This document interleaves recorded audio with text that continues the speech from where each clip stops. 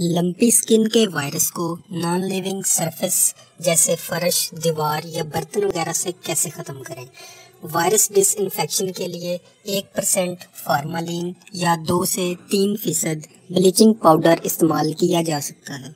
जदीद रिसर्च के मुताबिक ज़ीरो अशारिया पाँच फ़ीसद क्वाटरनरी एमोनियम या आयोडीन एक रेशो तैतीस की नस्बत से इस्तेमाल कर सकते हैं। हमारे रोज़मर्रा ज़िंदगी में इस्तेमाल होने वाले साबन, जिसमें सोडियम डक्टाइल सल्फेट शामिल हो, वायरस को ख़त्म करने में मौसर करदार अदा करता है। ये जानवरों के जिसम पर नहीं लगाते। जो सिर्फ़ नॉन लिविंग सरफेसेस जैसे बेजान अशिया को वायरस से पाक करने के लिए इस्तेमाल कर सकते हैं। ये ओ ई की 2016 की रिपोर्ट में शाया की गई रिसर्च बेस्ड टेक्निक है। इनमें से किसी भी एक तरीके को इस्तेमाल करके नॉन लिविंग थिंग्स पर वायरस के सर्वाइवल को काफ़ी हद तक महदूद किया जा सकता है।